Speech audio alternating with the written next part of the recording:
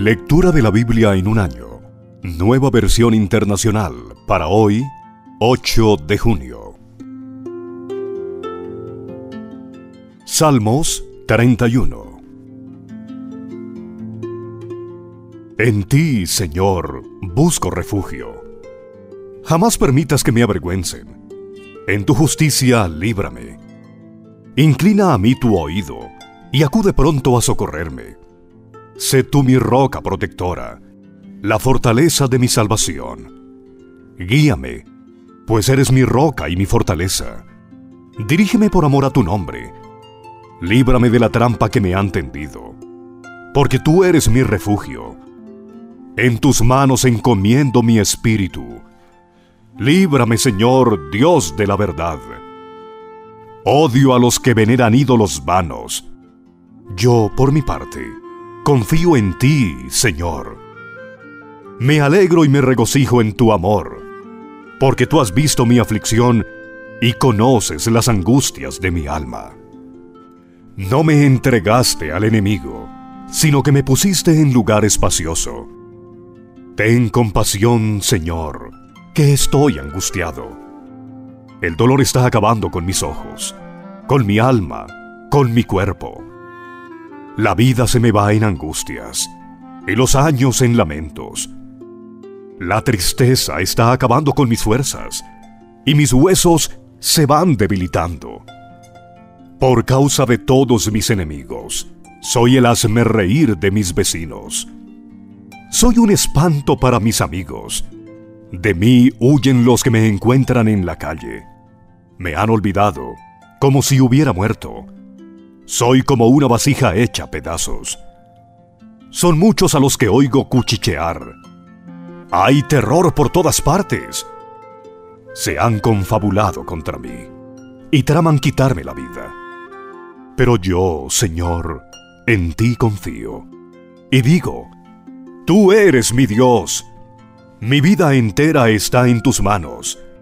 Líbrame de mis enemigos y perseguidores que irradie tu faz sobre tu siervo. Por tu gran amor, sálvame. Señor, no permitas que me avergüencen, porque a ti he clamado.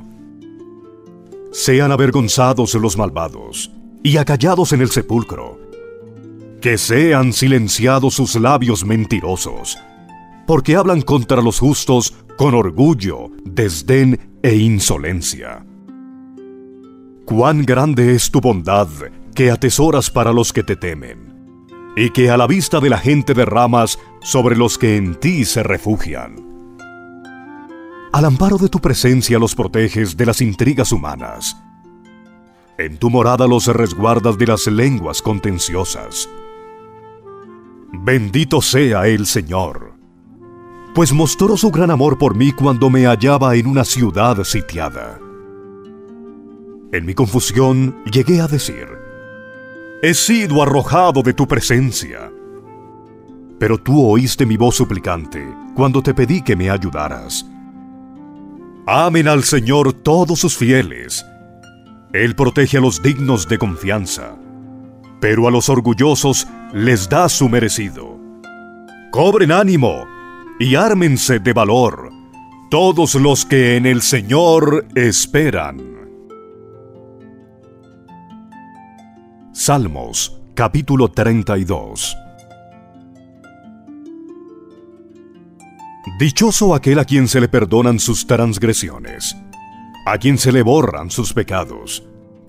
Dichoso aquel a quien el Señor no toma en cuenta su maldad, y en cuyo espíritu no hay engaño. Mientras guardé silencio, mis huesos se fueron consumiendo por mi gemir de todo el día. Mi fuerza se fue debilitando como el calor del verano, porque de día y noche tu mano pesaba sobre mí. Pero te confesé mi pecado y no te oculté mi maldad.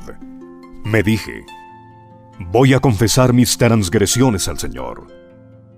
Y tú perdonaste mi maldad y mi pecado. Por eso los fieles te invocan en momentos de angustia. Caudalosas aguas podrán desbordarse pero a ellos no los alcanzarán. Tú eres mi refugio. Tú me protegerás del peligro y me rodearás con cánticos de liberación. El Señor dice, Yo te instruiré, yo te mostraré el camino que debes seguir, yo te daré consejos y velaré por ti. No seas como el mulo o el caballo, que no tienen discernimiento, y cuyo brío hay que domar con brida y freno para acercarlos a ti. Muchas son las calamidades de los malvados, pero el gran amor del Señor envuelve a los que en Él confían. Alégrense ustedes los justos, regocíjense en el Señor, canten todos ustedes los rectos de corazón. Salmos capítulo 33 Canten al Señor con alegría, ustedes los justos. Es propio de los íntegros alabar al Señor. Alaben al Señor al son del arpa, entonen alabanzas con el decacordio. Cántenle una canción nueva, toquen con destreza y den voces de alegría. La palabra del Señor es justa, fieles son todas sus obras. El Señor ama la justicia y el derecho. Llena está la tierra de su amor. Por la palabra del Señor fueron creados los cielos, y por el soplo de su boca las estrellas. Él recoge en un cántaro el agua de los mares. Él junta en vasijas los océanos. Tema toda la tierra al Señor. Honrenlo todos los pueblos del mundo, porque Él habló y todo fue creado. Dio una orden y todo quedó firme. El Señor frustra los planes de las naciones, desbarata los designios de los pueblos, pero los planes del Señor quedan firmes para siempre. Los designios de su mente son eternos.